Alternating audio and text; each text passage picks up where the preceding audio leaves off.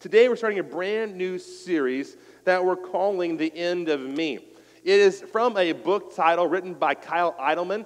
Kyle is an author and pastor and, and does a great job. And, and I love Kyle's books. I love his just his just kind of down to earth way of looking at things, and he's super insightful. And whenever we do books like this, I always say this. First of all, I encourage you to get a book. Uh, we don't have free ones to pass out, but you can go Amazon, just type in the End of Me book. It's a red one. It's super encouraging. I encourage you to get it. But also, too, I always say this: we are not replacing the Bible with some book. Okay, we're using a book like this as a springboard into a specific situation or a specific subject and we're going to process that subject with the Bible. Now, here we go. The subject, really, the question I wanted you to process this whole series is what does it mean to die to yourself? What does it mean to die to yourself? Or, or another way of saying it is what does it mean to come to the end of yourself? We're going to talk about that over the next four weeks. But for today, start with the big point. I know a lot of people out there like, Chris, I got a lot of things in my mind. I got things to do. Give me the big point so I can get in and get out of here. That's fine. Here's the big point to respect you. When we come to the end of ourselves, real life begins. When you come to the end of yourself, real life begins.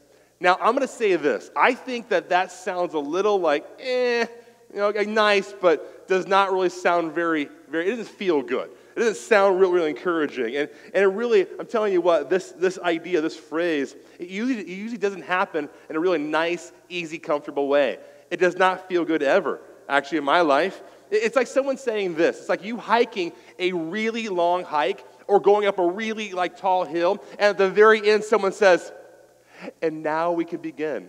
and you're like, I just got up the hill. I'm done. I don't want to do anymore. I'm just done. Now, it made me think about this phrase, okay? And that, and that phrase has hit me.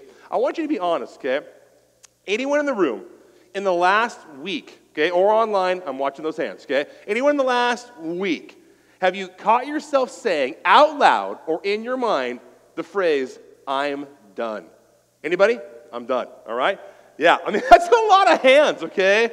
A lot of hands uh, uh, representing in the room. And we all have our different contexts of what we mean by that. But there's a, there's a time in our lives, I know my life too, this past week, almost daily recently, where I was, I'm like, I'm done. I'm just done. And I want to encourage you with this big picture visual. When you're at that point of, I'm just done, picture God leaning in saying, Good. Now we can begin. Now we can start. Let me help you now. Let me carry you through this. See, everyone knows that this idea of, of just a, a big point of just the idea of you coming to the end of yourself and real life beginning, it's all good, it's all good stuff. In the real world, it doesn't work that way, right? But in God's kingdom, it is a central premise, a central idea. This is what it's all about this idea of you and I coming to the end of ourself and real life beginning. We see it over and over in the Gospels. Those who decide to, to, to encounter Jesus or follow Jesus, a few things happen. The, the things that they value most important are put on the line in front of Jesus. And then what Jesus does, and, and he says this listen, if you want to accept the new life I want to give you, you have to let go of those most precious things you're holding on to. Those most precious, uh, precious even truths or ideas or, or agendas. You got to let it go. And trust me, he says, that I have something better for you, something bigger for you. You see it with Zacchaeus. Zacchaeus in Luke 19 realizes that he may have status, privilege, money, but he's spiritually bankrupt. And maybe that's you. Maybe you've been there. You've had all the stuff. You made it be a point to get all the stuff. You thought it'd be so good when you have all the stuff. But once you have all the stuff, you realize you got nothing inside. And you're just empty and you're hurting. Or maybe like Mary and Martha in John 11, they realized that even though God didn't spare them the pain of losing their brother, that God taught them something to depend on Him even in a deeper way. Or, or maybe even the woman at the well in John 4 realized that her lifestyle was leaving her empty. And maybe that's you. Your lifestyle, you're realizing, is leaving you empty. And that you can't hide behind just, just questions all the time without really pursuing answers meaningfully. Time and time again, Jesus comes face to face with what we think we know about life and he turns it upside down. He just does it all the time. And I think he does it unapologetically. He's like, oh, that's nice. Whoop, turns upside down. All time in my life. And I, I thought about this, kid, and this is what it is. We see a specific situation and we are convinced that the way we see it is truth. And that's what I'm talking about, what, what the things that we hold on to. We, we see a specific subject or situation, and we, can, and we tell ourselves, man, we, it is truth. It is truth. And then God goes, oh, you're so pretty, but we're going to do something different. See, he sees your lowercase t truth, my lowercase t truth, and he has a different perspective. And what he does, he turns it upside down. For example, take this guy. This guy's got a great beard, okay? A great beard, all right? And I don't know what he's sad about. That's a great beard. Maybe he's sad because he's bald. Hey, bald is beautiful. Can I get an amen on that, okay? Amen. Anybody? Okay, good. bald is beautiful, all right? But I don't know why he's why he's discouraged and he's looking kind of down.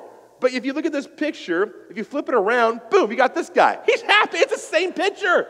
It's just flipped around. And he's a happy guy. He's pumped about life. It's a different perspective. See, it's the same subject or truth, just seen from a different perspective. It's the two identical pictures, just flipped around. Or how about this, okay? This is from Jeep. Uh, Jeep had, had an ad campaign a few years ago, and uh, you can't see it on the very bottom, though. It's super tiny font. But what it says is it says, see whatever you want to see. See whatever you want to see. Now, when you see it, I- am hoping to ask you, do you see the giraffe, the giraffe head? But if you turn it upside down, you see a cute little penguin. It's just super cute, you know? It's just the same exact subject, the same exact picture, the same exact lowercase t truth, just seen from a different perspective. And here's the point again Jesus comes face to face with what we think we know about life, and he turns it upside down all time. Let me ask you this Is there a subject? Is there, is there a lowercase t truth? Is there a political agenda? Is there something you're holding on to so tightly that it's actually leading you away from God instead of toward God? And that's the great question to ask yourself. Is this subject, is this thing I hold so tightly to, is it leading me to Jesus or making me feeling even more distant away from Him? So alone and isolated, so angry, frustrated, so mad. Friends, I'm telling you what, that's a great clarifying question. If it's not leading you to Jesus, you might need to let go of it. Not hold so tightly. See, maybe you need to let go of it and let Jesus show you a different perspective and when it comes to different perspectives, Jesus makes it clear that he has a specific different perspective in what we call the Sermon on the Mount. This is one of his most famous sermons. Uh, he basically, I, I, know you picture maybe like him sitting on like, you know, the, the Matterhorn at Disneyland or something at the very top of it, like, listen, people. It was less like that. And I, I've actually been to Israel and saw this area where most likely would have happened. He was just kind of on a hillside. And, and here he is just gathering people and, and really speaking to them on this hillside. And, and, what he's doing, he's saying, hey, listen, huddle up. He got a little bit of a little bit of like early fame. People are like, this guy's so encouraging, he's so good. Man, I want to follow this guy. This guy has it all together. He's a huddle up, huddle up. Okay, we're gonna go ahead and talk for just a little bit, okay, of what it means to follow me. And, and, and, I, and even though he didn't say these words, I'm gonna say the paraphrase, you're not gonna like it. You're not gonna like it. It's gonna surprise you It's gonna turn a lot of things upside down. So just get ready. And, and, and I see them going, Yeah, bring it, Jesus, bring it, right? And, and they want to hear everything he has to say. And, and what he does in the very beginning, he has what's called the Beatitudes. These are blessings given to people when they really have a, have a, have a show a, a certain type of heart or characteristic. And, and what he does, he gives us a glimpse of the kingdom values of Jesus. The kingdom values, what matter most to him. And they all have to do with coming to the end of yourself. They all have to do with you and I saying, okay, I'm done, you take over. Now, if you go through the Beatitudes and boil them down, the heart issue is that no one can get away without having their toes stepped on in some way. There's going to be some subject, something we're passionate about, that Jesus is going to go, I'm going to turn upside down. Something. And it's going to be something that hits us out of the blue. And a lot of times, oftentimes for me, I think to myself, no, I agree with everything he's saying. And all of a sudden, he says something like this Blessed are the poor in spirit, for theirs is the kingdom of heaven. And, and, and I want to just say, like, when I first read that, I go, what? And even though I'm a pastor, read the Bible for years, I've broken down this thing, read different commentaries, I still look at it and go, really? You're going to put the keys of the kingdom in the hands of those who are kind of don't have it all together? Don't you I mean shouldn't you put the keys of the kingdom for in, in the hands of those who do have it all together? to have, have, some, have some resources, you know? Have some, have some, some health, have maybe some wealth, maybe some influence. You want those people, because that's what we see in the world, right? That's what we see on TV.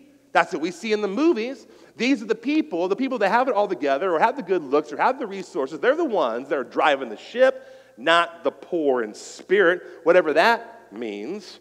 Now, the poor in spirit would be those who seem like they don't have it all together. The poor in spirit would be those people who are stuck, useless, helpless. Why would Jesus say something like this? I like the way the message paraphrases it when it says this You're blessed when you're at the end of your rope. With, with less of you, there's more of God and His rule. Now it's starting to make a little more sense. Less of me, more of Him. The beauty of what Jesus does when He calls us to end or come to the end of ourselves, it's not an invitation to suicide, just to be very blunt. It's not.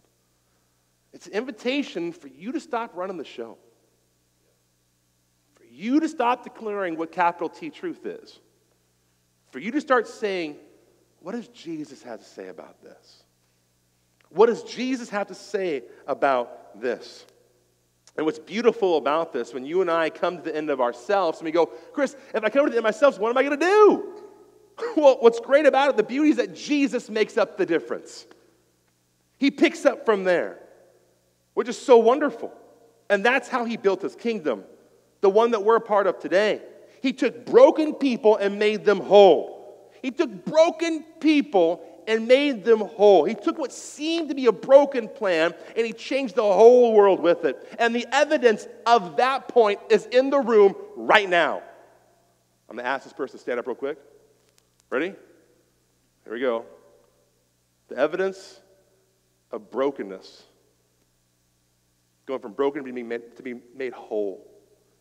The evidence of God using someone to make a difference, even with their brokenness is in the room right now. I'm going to ask you all to please stand for just a moment. And give each other a round of applause right now, okay?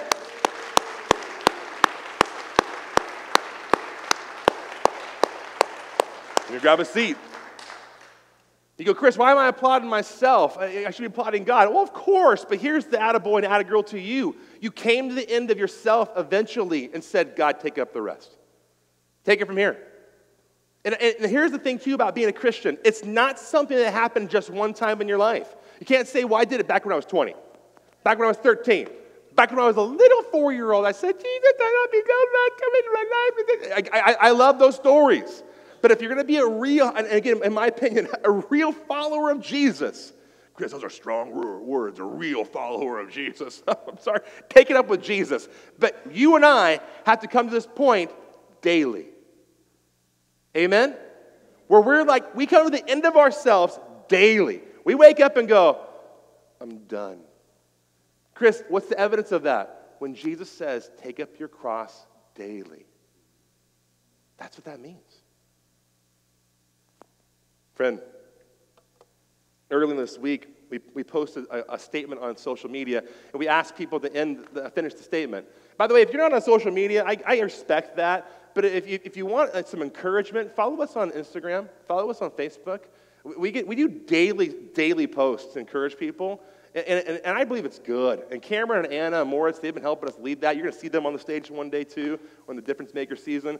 And you can be a part of that, help them too. But they posted this really great little statement. It says this Jesus became real for me when? When did Jesus become real for you?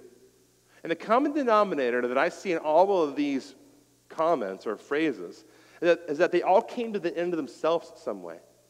That's when Jesus became real. Here's what people said I realized I couldn't do it without him. Jesus became real when I finally surrendered my life to him and realized that he had never abandoned me. Jesus became real for me when he saw me, not my sin, and I understood that. Jesus became real for me when I accepted him as my Lord and Savior. Jesus became real for me. Somehow I just fell in love with him, just being near him. Jesus became real for me when, he performed miracles in my life. He became real for me when he delivered me from an impossible situation. Jesus became real for me when I stopped my egotistical behavior and decided to listen. And finally, Jesus became real for me when I was in junior high and my parents got divorced.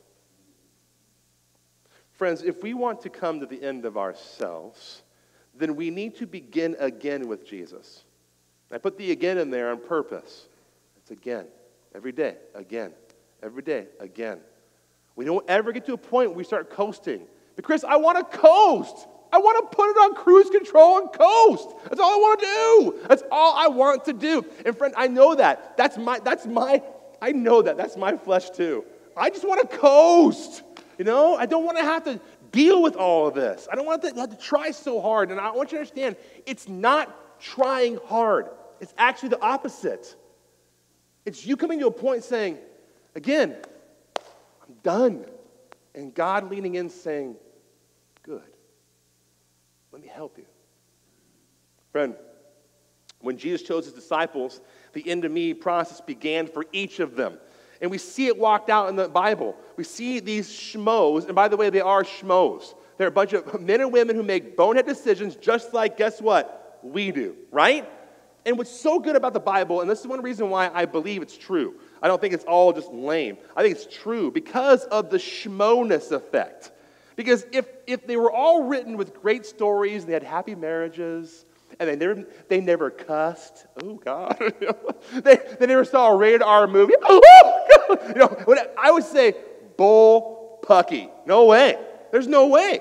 But because you see the humanity in their lives, it gives me hope. I can relate. These guys are schmoes. Well, guess what? Chris, they were schmoes before Christ. No, they were schmoes after Christ, too. Peter was a schmo big time after Christ, messing up often. And I'm telling you what, guys, it's a part of being a believer. And a part of you and I every, every day going, you know what? I'm done with me trying again. God, I want to trust you now. Friends, today I want to give you a few beginning points. Just three beginning points, okay? Here we go. Beginning point number one the end of me is the beginning of trust. The beginning of trust. Chris, I would love some scripture right now when you got it. Here it comes, all right? Boom. In Luke 7, it's one of my favorite stories.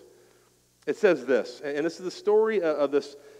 It's often called the story of Jesus and the immoral woman, or the immoral woman, you know, puts the perfume on, on Jesus' feet. Let's dive into it, okay? One of the Pharisees asked Jesus to have dinner. We know this guy's name's Simon. A dinner uh, with him. So Jesus went to his home and sat down to eat. When a certain immoral woman from that city heard he was eating there, she brought a beautiful alabaster jar filled with expensive perfume. You go, Chris, awesome. Who cares? Okay, great. Let me just process this a little bit. Jesus is invited by this Pharisee to come to dinner at the Pharisee's house. Why is that important? The Pharisee, collectively, the group is a, very, a bunch of religious muckety mucks. They're all about rules. They're all about you will get a good life if you obey the rules and check the marks. Good things will happen to you. You'll be a good person. What does that sound like? Religion. Don't raise your hands on, on this one, but how many of us have been burned by religion? Just burned, buried by it, to be just shamed by it.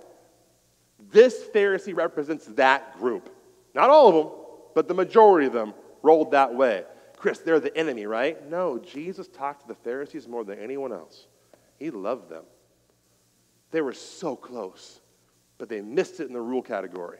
It's not about rules, it's about a relationship with God. Amen? Amen? Yeah. So keep going. So, so he goes, Jesus, come over to my house. And Jesus says, okay, now picture the scene. Jesus just, he walks in. Now, in the Jewish culture, there would be customs that we wouldn't know okay? So maybe when someone comes to your house, maybe you give them a high five, you give them a hug, you're like, where's my Amazon package? You know, whatever it is. You know, you're like, you're trying to, you, you have a certain way that you kind of bring people in. Well, in the Jewish culture, they were very hospitable. They had people over all the time, doors and windows open, great weather, you know, no ACs. And, and if there was any kind of party happening, people walk by and go, oh, party, and come on in. That's pretty normal. Now, what happens here, you know, Pharisee, come over to dinner. We don't know why he's inviting Jesus to dinner. Maybe he's trying to set him up. Maybe he's trying to ridicule him. Maybe he's actually trying to ask him questions. I don't know. We don't know. But this guy does something. Well, actually, to be more, more frank, he doesn't do something. And it's telling in this moment.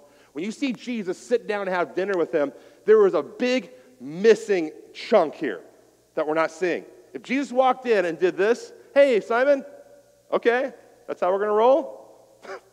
okay, let's do it. What should have happened in that moment is three things. Number one, there should have been Simon coming up and saying, Jesus, and giving a little customary kiss.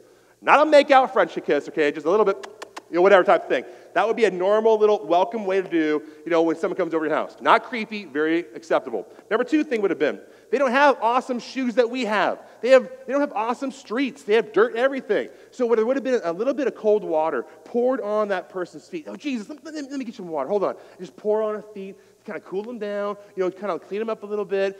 And then what also would have been done too is, hey, you know what? Let me just grab a little bit of this, some perfume, some incense, you know, whatever. Like you kind of like just kind of dropped, you know, on his head, on the person's head to make them smell good. Chris, why is that kind of creepy?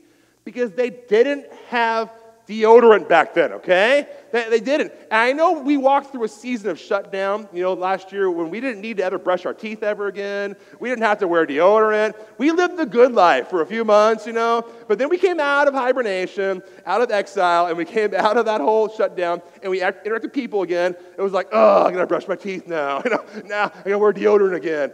That's what they were doing. They're trying to say, hey, here's some perfume put on you because you're coming into my home. I smell, you smell. Let's be real. How about we smell good instead of bad? Those three things did not happen. Jesus is like, oh, okay, all right, okay. Let's just do this thing. Let's do this thing. Let's sit down. Now, what also happens in the scene, because again, doors are open, windows are open, people walking by, whatever, someone comes in. Now, this someone is described by the author of this as an immoral woman. And I really believe the description is put in there not because of the author, but because of the culture and how the culture would see this woman walking in. She's an immoral woman, and that is code for, get this, slut prostitute. Just straight up. I'm sorry, there's no way to say it.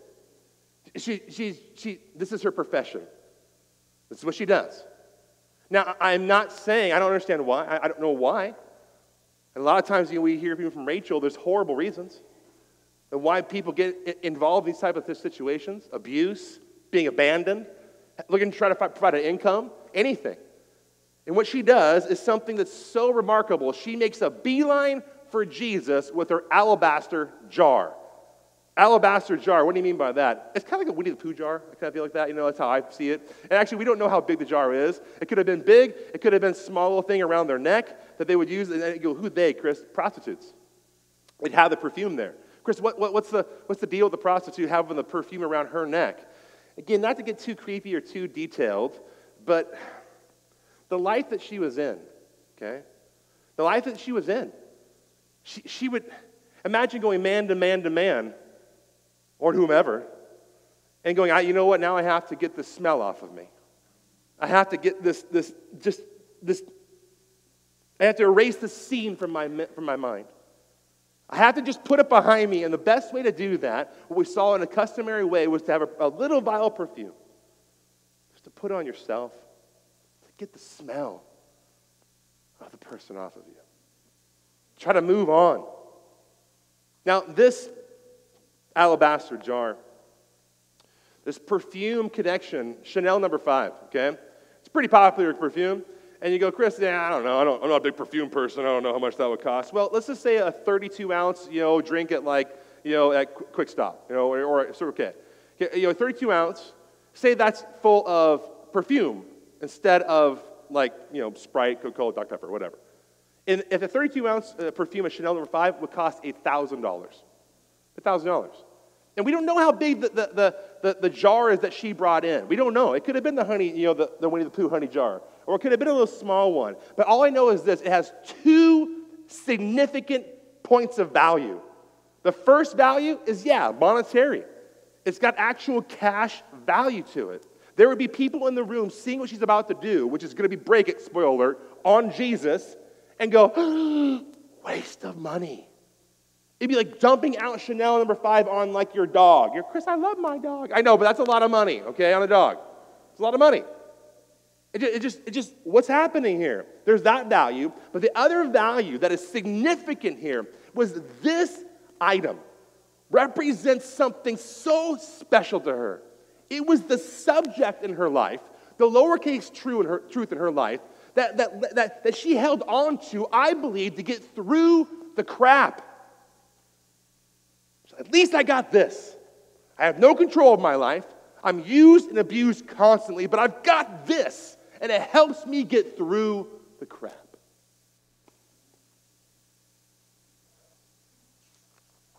She knelt behind him, Jesus, at his feet, weeping. Her tears fell on his feet. She wiped them off with her hair. Then she kept kissing his feet and putting perfume on them.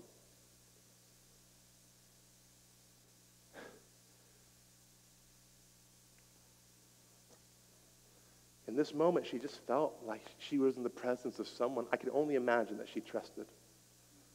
To be vulnerable, because you, you, don't act this way unless you can very much trust that person. You, you don't give and replace something you hold so precious. You don't give that up for something less precious. You give it up for something more important. You would never do that unless you trusted the person. And, and by the way, I don't believe America or the world has a belief problem with Jesus. Because, yeah, they don't believe. They're throwing him out of school. They're throwing, throwing him out of the courts. They don't have a, a problem believing. It's not a belief issue, it's a trust issue. They don't trust Jesus. And you go, well, Chris, they should read their Bible. How about they read you? How about they read me? How about they see Jesus in us? How about we create an environment for them where they don't feel like the immoral woman or the immoral man and they just feel loved? Providing a safe place for them to let go of the things the addictions, the hobbies, the, the passions, whatever you call it, that have gotten them through it, to give up those things and replace them with Jesus. You will only do that, I believe, if you trust Jesus more than the other stuff. And what she does here is something that Simon the Pharisee did not do. She could have easily said, Hey, Simon, do you have any, uh, you know what, I, I, Jesus, hold on, I want to just, I want to just do something really special. Simon, do you have any water? Do you have any water? Simon's cold water? She doesn't do that. She just uses her tears. She could have said, Simon, do you have any nice towels I can use kind of wipe down the feet a little bit? Do you have anything like that? And he, she doesn't do that. She just lets down her hair. Also, huge cultural significance. You let down the hair, that's an intimate thing. Lets that down and just starts using her hair to wipe and clean his feet. And then she takes that jar that significant something, breaks it, and says, I don't want it anymore. That's what she was saying. She wasn't just blessing Jesus with some nice, smelly stuff. She's saying, I'm to go ahead, I'm not going back. I'm giving this to you. I'm no longer having my jar of perfume be my thing that gets me through. Now it's you, Jesus. You get me through. See, the end of me is the beginning of trust. After this, number two, the end of me is the beginning of a new identity. New identity comes once you trust, once you learn to do that. You stop trying to find your identity in what you do. Oh, here we go. Friends, come on now. Come on. Don't we find our, our identity in so much of what we do, which is so sad, but it's so human? Some of us find our identity in wanting to have a boyfriend or a girlfriend. It starts really young. We find, want to have our identity, you know, in dressing the right way, identifying with a certain group. We want to have, find our identity in, maybe in our marriage or having kids or not having kids. We find, want to have our identity found in what we do, our actual jobs. I'm a stay at home dad, stay at home mom, I'm a lawyer, I'm a, I'm a doctor, I'm a teacher. Or we find these jobs offered to us and we go, no, that's beneath me. Why is it beneath you? Let's be honest. It's not just your gift mix, There's a part of you that goes, I don't want to be identified with that. I don't want to be identified with that type of job. No. I want something more that feeds my identity and who I think I should be. And what's so such a bummer when people retire, they struggle for the first little season because they were so attached to their job, finding their identity in the job. But what's wonderful, once they get past that season, they realize that with retirement, you can golf like every day. It's awesome, okay? and you'll watch movies and stuff and have and, no one can bother you. It's great, all right? But anywho, this idea of identity, if you are struggling with identity right now, can I just tell you something? Uh, this is not a, I won't do a full sermon on it, but I'll say this. If you are trying to figure out who you are, and I know our world loves to give you all sorts of advice, can I just give you this advice and you can just take it or leave it? Um, stop trying to find your identity uh, in, in other people, in what you do, or even in your own self. If you want to find your identity, go to God. Go to God. And what you do is you, you, go, oh, okay, okay, Chris, like go to God, God, help me with my identity. No, no. Go to God and look at who He says He is. Because you and I will find our identity once we figure out who He is. For example, if God is the creator, we are the creation. If God is the Savior, then we are the ones who need to be saved. If God is the Father, then we are the what? His children. That's who you are. Not a manager, not a doctor, not a teacher, not a divorcee, not a loser, not an addict. These are not who you are. Not all the stupid divisions, and I'm rattling them off my mind, uh, what, our, what our world's doing right now. But I'll keep my mouth shut. We are not those things. We find our identity in who God is. Amen?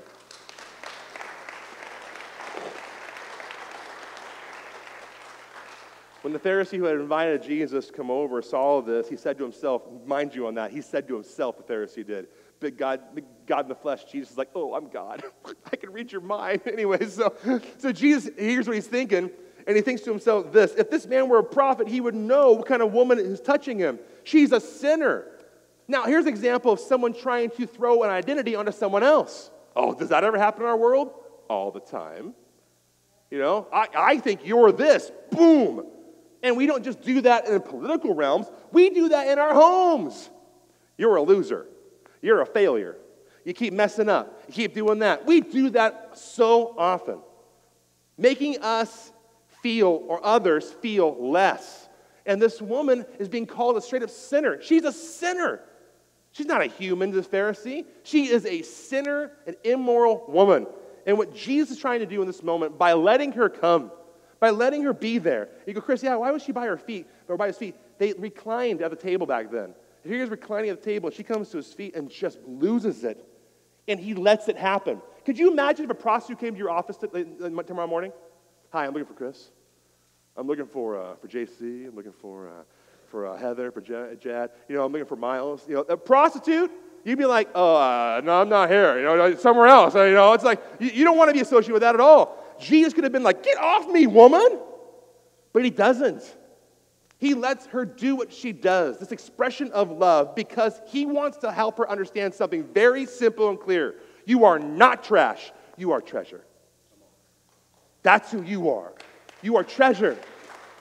And so many of us right now so many of you watching online, some of you in the room, you are beating yourself up. And that's what shame does. And that is a strategy from the enemy himself to make you and I feel like trash. But when we come to the end of ourselves, we are met with a new identity where Jesus says, oh, My child, you've been running so hard, trying to prove to so many, so many things if you would just stop. And I'm so glad you finally have, because here I am to tell you, you are not trash.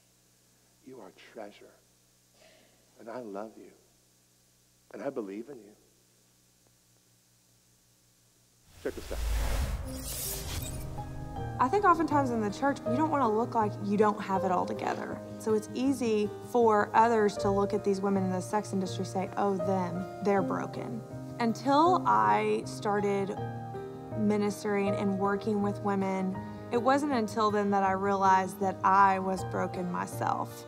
God showed me that we were created for Him and created for others. And when I was in my career, if you will, I was living for myself. I'm in need of God's grace just as much as the prostitute that I meet Thursday night. I don't think that anybody's brokenness out there could keep them from being whole. I've seen that with women that I sit with every single day. Every single day, the women that are sexually abused and they feel like they have been shattered for the rest of their lives, I've seen God make them whole again.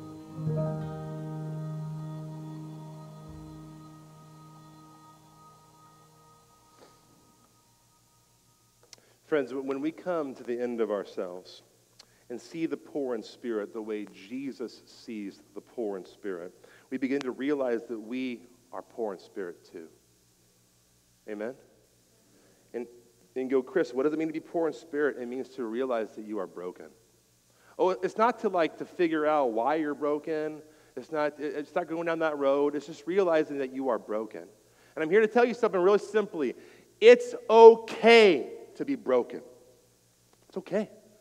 And I know you and I try every day to get up and go into work and go into our families and go into our friendships, and we present and project this image that we have it all together. Sure, every once in a while we'll give them, give them a little bit of thing, like, hey, can you pray for me about this? Yeah, thank you, Oni. Boom, back on again. Okay, we're, gonna, we're good. We're going to go back into that, that environment, making sure we look good. We're projecting something that, of confidence, something that, that's good, that they can relate with or maybe respect, hopefully. That's what you're hoping for. But I'm telling you what, Jesus, we cannot do this with him. We can't. We shouldn't be this way dealing with each other. But I'm telling you what, what's so easy for us is that it's a, it's a simple step to projecting this way to people. I'm good. I'm good. And we go to God. I'm good, God. I'm good. I'm good. I don't, I don't need much of you. I'm not that broken. Friends, after understanding the end of me is the beginning of a new identity, which is point number two, point number three is this the end of me is the beginning of God's power. This is the last point. The beginning of God's power. And the story's not done yet. Luke 7, this whole Jesus goes into the, he just really, he really defends the woman with this Pharisee and all those who are listening. And he says this in a wrap up I tell you, her sins, and they are many, ouch. But I think she'd be in good company with us, wouldn't she? Have been forgiven. So she has shown me much love. But a person who's forgiven little shows only a little love. Then Jesus said to the woman, Your sins are forgiven. Forgiven. And again, going back to if you and I are, are, projecting this, like, I got it, I got it, I'm not that bad, I'm not that bad, I'm not that bad. We bring it to God, I got it, I got it, I'm not that bad, I'm not that bad. And God's like, would you let me just heal all of you?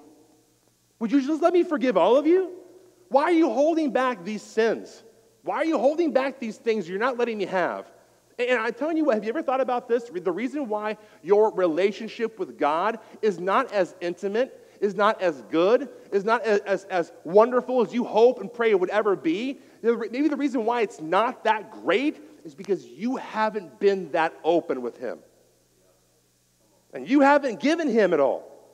You're holding it back. You're saying, I only need to be forgiven for a few things, God, but let's be honest. You've got to be forgiven for all of them. And God's not, and I swear, I mean, you shouldn't swear, Chris. Oh, you're right. Okay, I swear. God, I don't swear. God, I, God's just like, what are you doing? Why are you holding back? Why, do you think this projection is what I want?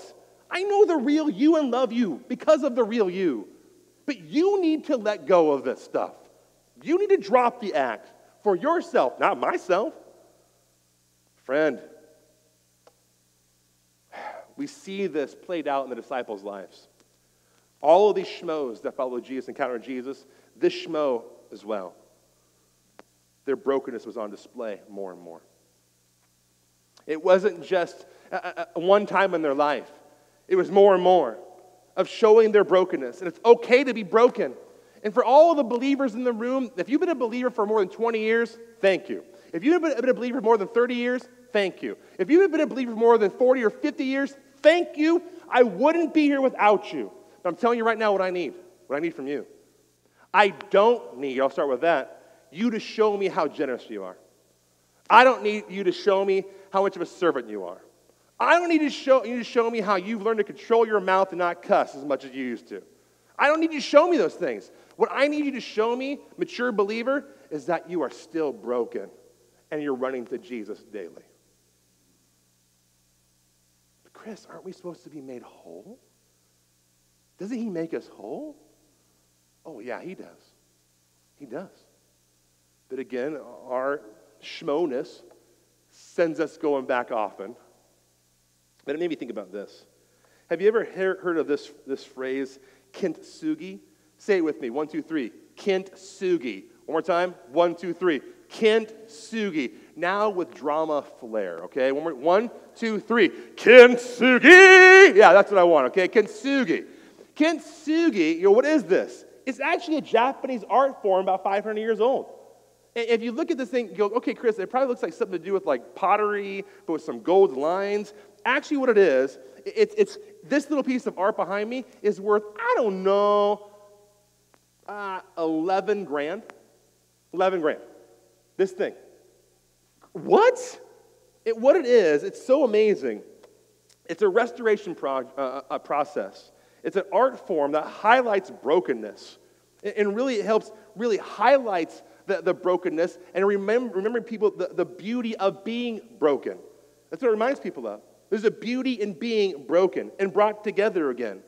And even this one in, in particular, you can see even more. Looking down and around it, you see these gold lines, and it shines and it grabs your attention.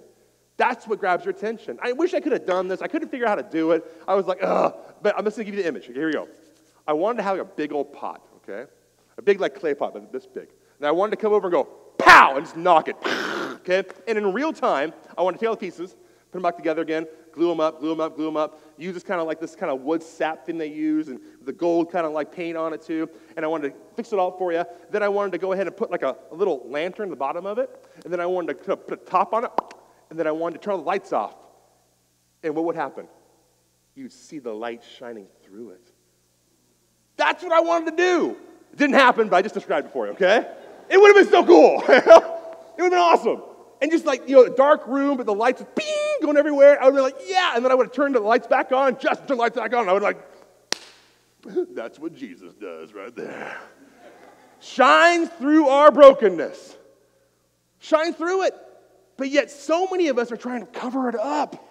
We don't want them to see the brokenness. We think that's the way to go about doing this. But again, Jesus turns things upside down. He's going, No, I want you to show them your brokenness. Because as you show them your brokenness, they're going to see Jesus, the one who makes us whole. Amen?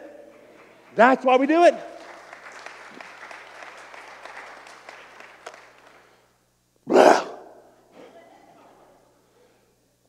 And this last verse, I'll give it to you. Give me an example of this brokenness, Chris, how Jesus does this. Isaiah 53, but he, is, he was pierced for our rebellion, Jesus was. Crushed for our sins, Jesus was. He was beaten so we could be whole.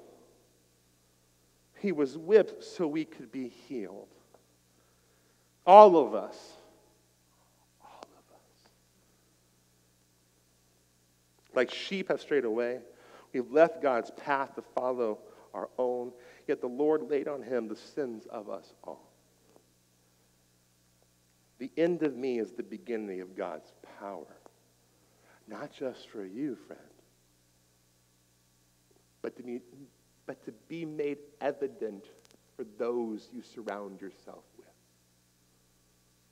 So they may see his power and be drawn to it. The big point today, the gist, if you checked out, here it is, no big deal. When you come to the end of yourself, real life begins. Christians, amen? Challenge is this stop pretending that you're not broken. Give your broken pieces to Jesus. Start letting God use you, not the other way around. Let's pray. God, we love you.